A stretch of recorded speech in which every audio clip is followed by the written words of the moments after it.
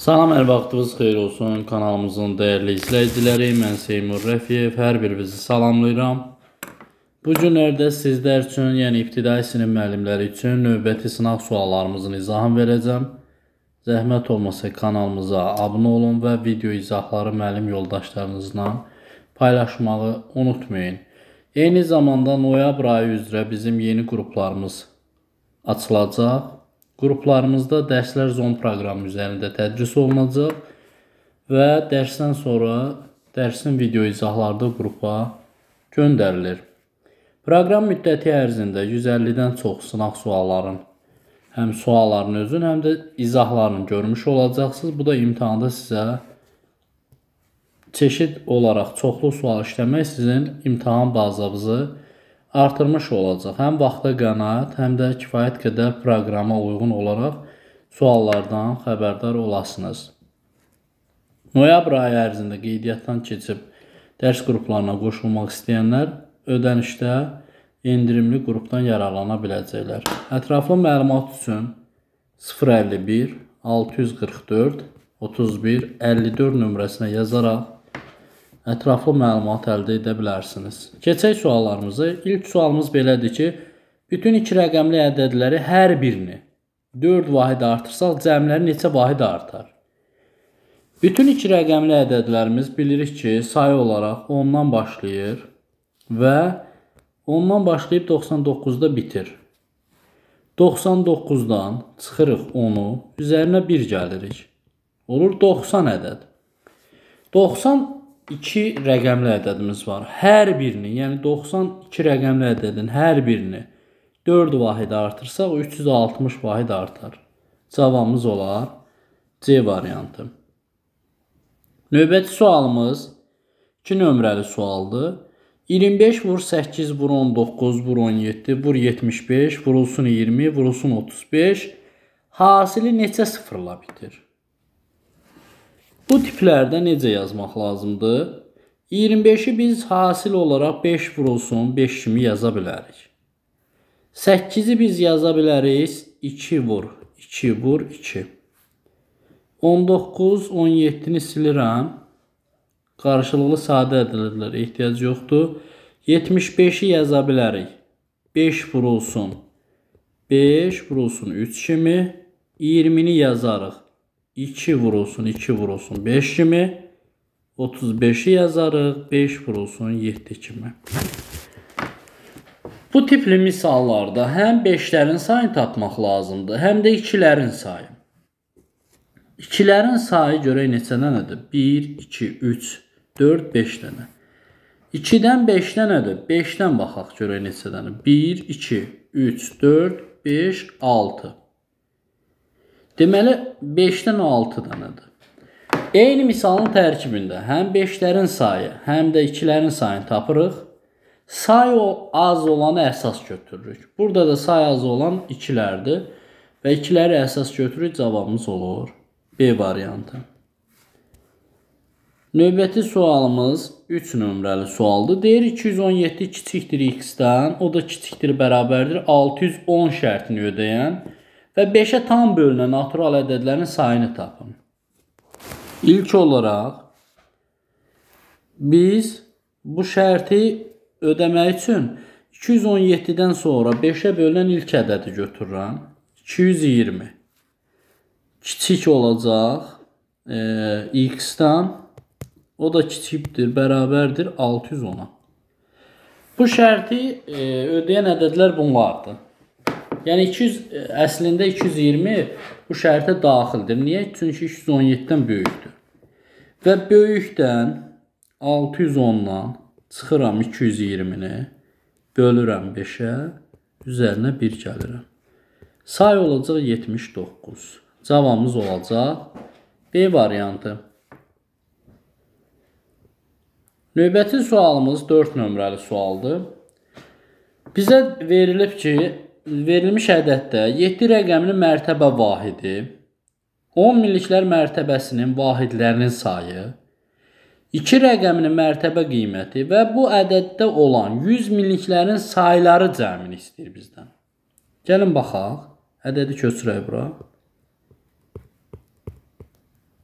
Aha. 7 rəqəmi harda dayanır? Təklik, onluq, yüzlük, minlik. Deyək 7 rəqəmi mərtəbə vahidi. Mərtəbə vahidi neçədir? 1000-dir. Sonra 2 rəqəmin mərtəbə qiyməti. 2 200 e, yüzlükdədir, onun mərtəbə qiyməti 200-dür.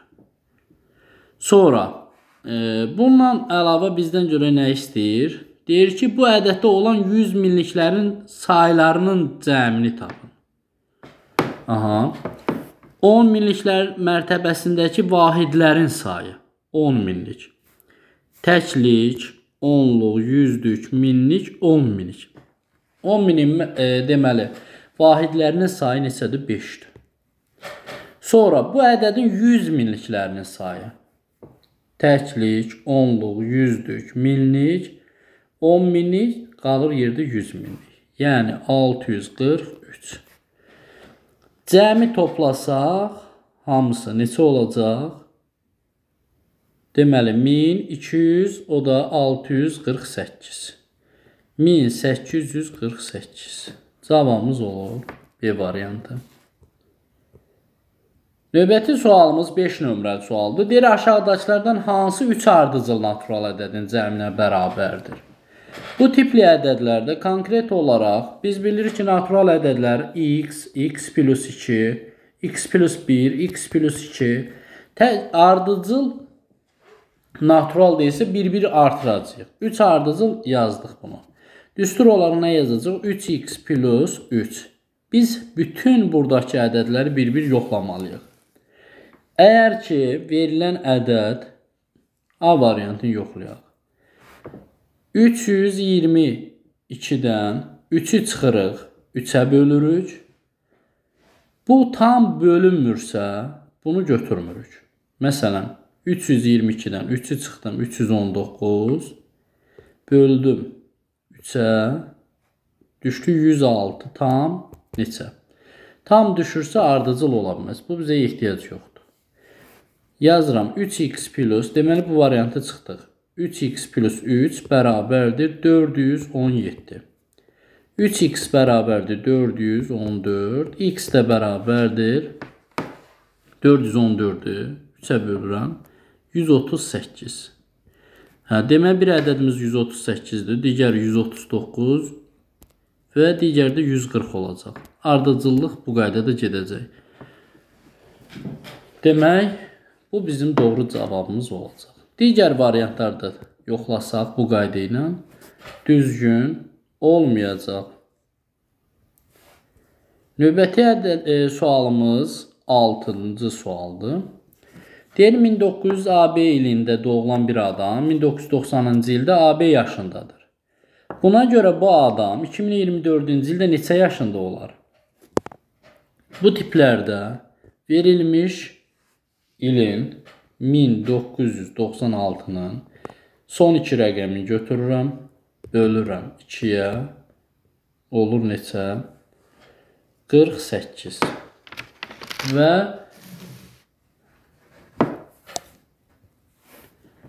oldu 48. Bu adam 1948-ci ildə anadan olub. 2024-dən də çıxırıq 1900 48-i qalır neçə? 76. Bu adamın 76 yaşı olacaq. Cavabımız C variantı. Növbəti sualımız 7 nömrəlidir. 2024-cü ilin MIQ suallarının içərisində rastımıza çıxan sual tiplərinə tiplərindəndir. Deyir ki, düzbucağının eni uzunluğunun 50%-nə bərabərdir. Bu düzbucağın perimetri 3 e, deməli 36 sm olarsa düzbucağının sahəsini tap. Uzunluq 2x götürürəm. Bunun da 50%, yəni yarısı olacaq x. Perimetri tapsaq 2x plus x vurulsun 2 bərabərdir 36-ya. 3x bərabərdir 18-ə. x də bərabərdir 18-i 3-ə bölsək 6. Bir tərəf olacaq 6, digər tərəf olacaq 12. Bizdən də sahəni istədiyinə görə 6-nı 12-yə vuracaq. 72. Cavabımız olacaq B variantı. Növbəti sualımız 8 nömrəli sualdır. 1-dən 100-ə qədər ədədlər bərabər olmaqla 4 sırada yazdılar, yazıldı. 43 ədədinin üstündə və altında yerləşən ədədlərin cəmini tapın. Aha. Bu tiplərdə necə yazırıq? 1-dən 100-ə qədər deyirsə, 100-ü bölürəm 4-ə. Çünki 4 sıra 4 sırada olacaq. Hər sırada 25 ədəd olur. Yəni 1-dən 25-ə qədər bir sıra. 25-dən sonra 26-dan 50-yə qədər bir sıra. 51-dən 75-ə qədər bir sıra. 76-dan da bir sıra olacaq 100-ə qədər. 43 ədədi düşər 26 ilə 50-nin arasına. Deyək ki, bura 43-dür. Baxaq, 43-dən 50-yə qədər olan məsafə 7-dirsə, hər bir ədəddən 7 çıxacaq. Yəni bu sıradakı yazdığım ədədlərdən 7 çıxacaq. 25-dən 7 çıxanda bura 18 olacaq. 75-dən 7 çıxsam bura olacaq 68. 100-dən də 7-ni çıxsam olacaq 93. İndi 43 ədədinin altında və üstündə yerləşən ədədlərin altında yerləşir deyək ki 18 üzərinə gəlinsin. Bunun yuxarı hissəsində yerləşir 18, aşağıda yerləşir 68 və 93. Hə, bizə desəydi ki, 43-ün özü və altında üstündə olan ədədlər, 43-ün üstündə və altında yerləşən ədədlərin cəmini deyir. Özün demədiyinə görə cəmləyici 179-a bərabər olacaq. Cavabımız olacaq C variantı. Keçək növbəti sualımıza. 9 nömrəli sualdır. Bizə 9 nömrəli sualda nə deyir? A ədədini B ədədinə böldükdə nataman qismətdə 25, qalıq isə 18 alınır. Bölünənin ala biləcək ən kiçik ədədi yüzlüklərə qədər yuvarlaqlaşdırdıqda hansı ədəd alınır? A ədədini bölürəm B-yə 25 düşür, qalıqda 18. İndi biz burada ən kiçik dediyinə görə 25-i 25-i bu şərtə görə əgər ki qalığımız 18 qalıbsa qalığımız 18 qalıbsa 18-dən bir vahid ədədimiz olar 19. 19 vurulsun vurulsun 10 e, 25 və üzərinə də qalığımız 18 gələcək. Çünki bu bizə deyir ki, bölünənin ala biləcəyi ən kiçik ədədi yüzlüklərə. Bu şərtə uyğun olaraq ən kiçik ədədimiz olacaq neçə? 493. Və 493-ü də yüzlüklərə qədər yuvarlaqlaşdırsaq, olacaq 500. Cavabımız olacaq C variantı. Növbəti sualımız 10 nömrəli sualdır. Firuz bir işin 2də 1 hissəsini 9 saata, Talih eyni işin 3də 1 hissəsini 4 saata bitirir. Hər ikisi birlikdə 3 saat işlədikdən sonra Firuz işdən ayrılır. Qalan işi Talih tək başına neçə saata bitirər? Deməli Firuz tam işləsə 9-u 2-yə vursam 18 saat eləyəcək. 18 saatı tam işləyər. Talih isə talih isə. Hər ikisi birlikdə 3 saat işləyir. Bununla işimiz yoxdur. Talihin gücünü çarpıram. 3-ü 4-ə vururam 12. İndi baxaq. 36-nı bölərik 18-ə. 18 ilə 12 üçün ortaq bölən tapdım 36. İşimiz olsun 36. Ta Firuzun gücü olacaq 2. Talihin gücü 36-nı bölsən 12-yə düşəcək 3. İkisi birlikdədir. 2-nin üstünə 3 gəlirəm və neçə saat işləyir? 3 saat. 2 üstə 3 5, 5 üçün 15. Hə, burdan işimiz 36 idi. 15-in çıxsaq yerdə qalır 21. Kim görməlidir 21-i? Firuz işdən ayrılır, Talih görməlidir. Talihin gücü 3-dsə, 21-i də 3-ə bölürük, 7. Qalan iş işi taley tək başına neçə saata bitirəcək? 7 saat. Növbəti sualımız 11 nömrəli sualdır. Tərəfləri müxtəlif ədədlər olan üçbucağın bir tərəfi 11 sm, digər tərəfi isə 4 sm-dir. Üçbucağın üçüncü tərəfi neçə fərqli qiymət ala bilər? Baxaq, bura olsun 4, bura olsun 11. Biz bilirik ki, bərabərsizlik qaydası var üçbucaqlarda. İki tərəf verəndə böyük tərəfi tapanda toplayıb 1 çıxırıq, kiçik tərəfi tapanda çıxıb 1 gəlirik üzərinə. 11-dən çıxıram 4-ü, 7. Üzərinə 1 gəlirəm. Yəni ən azı ola bilər 8. Sonra böyüyü tapmaq üçün 11 ilə 4-ü toplayıram, 1 çıxıram. 15-dən 1 çıxanda 14. Deməli, burada nə qiymətləri ala bilər? 8 alar, 9, 10, 11, 12, 13, 14. Amma 11-i silirəm. Niyə? Çünki burada 11 qiyməti var. Fərqli dediyinə görə. Yerdə qalan 1, 2, 3, 4, 5, 6. 6 8-in özünü də alır. 9-u da alır, 10-u da alır, 12, 13, 14 da alır. Cavabımız olacaq Deməli 6. Növbəti sualımız 13-cü sualdır. Deyir ki, iki ədədin fərqi fərqi 102-yə bərabərdir. 102-yə bərabərdir. Azalanı 29 vahid artırıb, çıxılanı isə 14 vahid azalsaq fərq neçə olar? Burada iki qayda ilə yaza bilərik bunu əslində. Qayda nədir? Əgər ki, azalan, çıxılan fərq mövzusuna aiddir bu sual. Azalanı artırıb, yəni bunu böyüdüb, bunu kiçildiriksə, fərq bunların cəmi qədər artacaq. Yəni birbaşa 102 üzərinə 29-u gəlsək, Deməli burada əslində bizdən fərqin necə dəyişdiyini yox, bizdən fərq neçə olar soruşur. Yəni hazır fərqin neçə olduğunu istəyir. Praktik olaraq bir ədəd yazıram. 200 çıxılsın 108, e, deməli 200 çıxılsın 98 98 bərabərdir 102.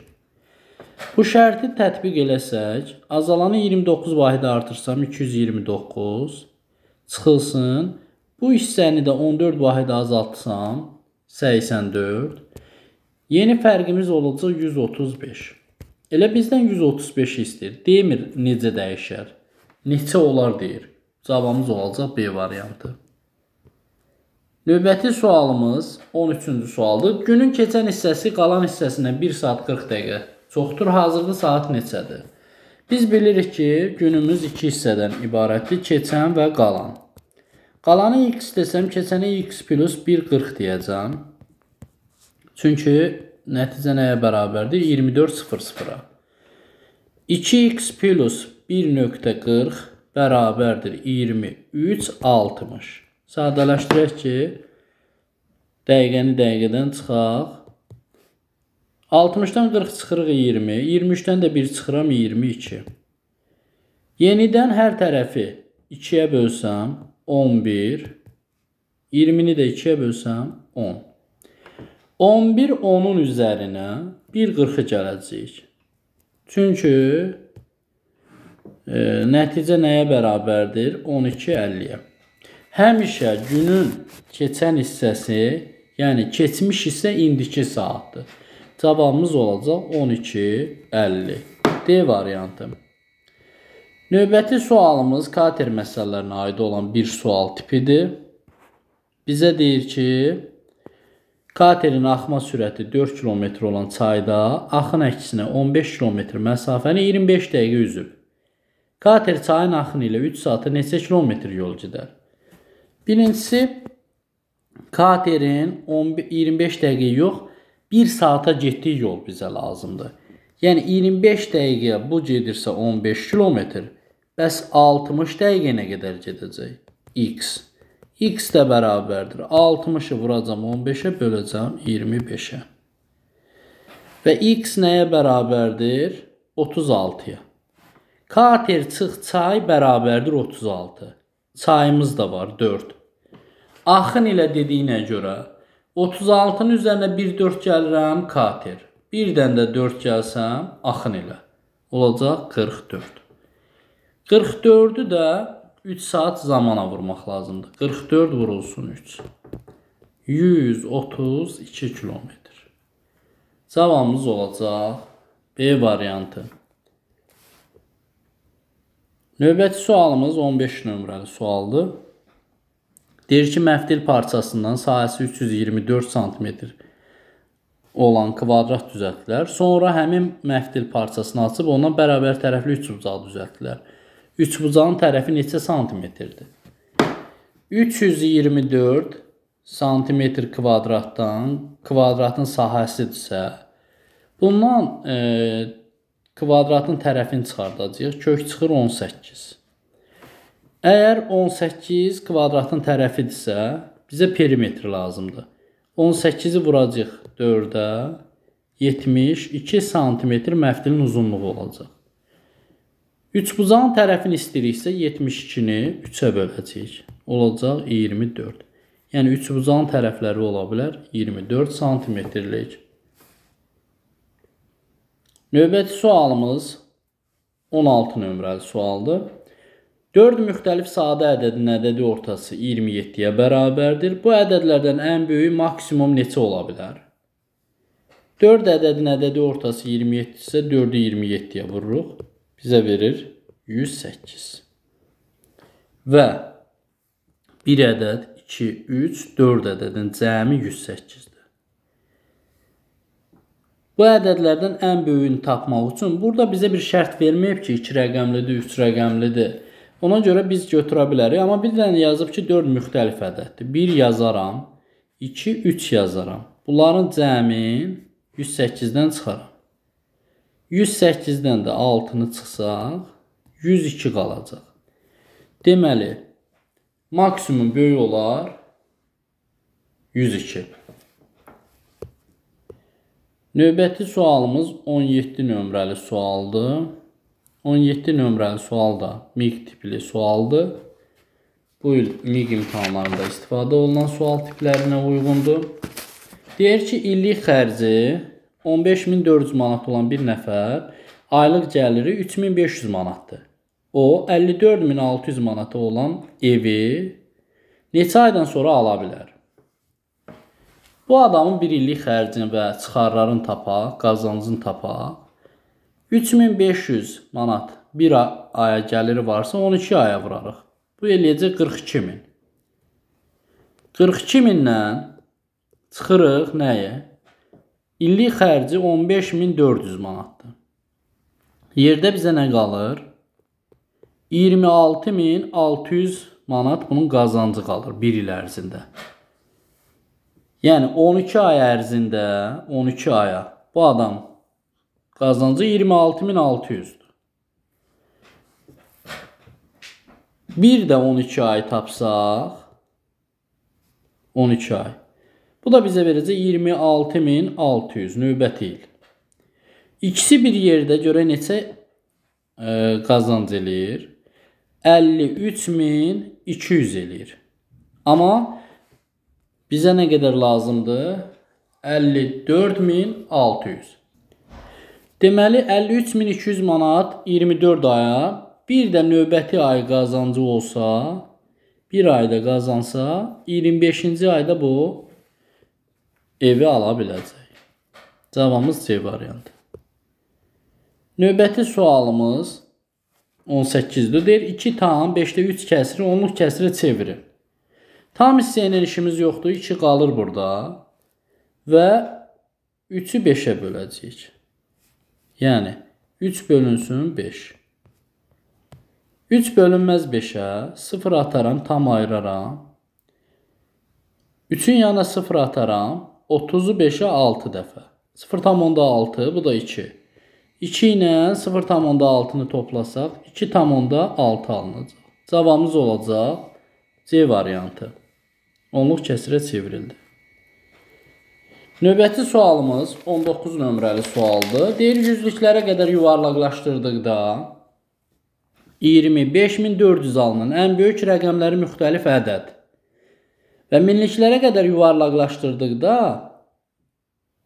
14000 alınan ən kiçik rəqəmləri müxtəlif ədədin cəmini tapın. Birinci yüzlüklərə qədər yuvarlaqlaşdırırıqsa, ən böyük ədəd tapmaq üçün 25400-ün üzərinə 49 gəlirik. Olur 25449. Amma bizə deyir ki, rəqəmləri müxtəlif olsun. Buradakı 4-ü dəyişəcəyik. Yəni olacaq 25439. Bu olacaq ən böyük ədəd. Sonra 14000 alınması üçün minliklərə qədər deyəndə 14000 alınması üçün 14 mindən 500 çıxırıq. 500 çıxırıq. 13500 qalır. Amma 13500-də burada rəqəmlər eyni olduğuna görə götürmürük. 13502 yazacağam. Niyə? Çünki 1 yazsam burada da birimiz var. Həmin o 13502 ilə də buradakı cəmi toplasaq bizə neçə verəcək? 38941. C variantı. Növbəti sualımız 20 nömrəli sualdır. Deyir, eni 8 metr, uzunluğu 25 metr olan hovuzu təmizləmək üçün bir gündə 100 metr kub su suya 250 qram xlor tökülür. 3 gündə 2250 qram xlor işlənibsə, hovuzun hündürlüyünü tapın. Gəlin baxaq. Deməli, 2250-ni bölürəm 3-ə. Düşür neçə? 750. Bu 750 bir gündə istifadə olunan xlordur. Bir gündə. 100 metr kuba əlavə olunurdu 250 qram. Onda x metr kuba əlavə olunan nə qədər? 750. x də bərabərdir. 750-ni vurarıq neçəyə? 100-ə. Bölərik 250-yə. Oldu 300 metr kub. Ümumi həcm nə qədərdir? 300 metr kub. Bir tərəf var 8, vurulsun 25, vurulsun x bərabərdir neçəyə? 300-ə. 8-i 25-ə vuranda 200, vurulsun x bərabərdir 300-ə. x də bərabərdir 300-ü 200-ə bölsə 1,5 metr düşür. Hündürlük də olacaq nə qədər? 1,5 metr. Bu tipli videoların davamlı olmasını istəyirsinizsə kanalımıza abunə olun və video izahları müəllim yoldaşlarınızla paylaşmağı unutmayın. Sağ olun, salamat qalın.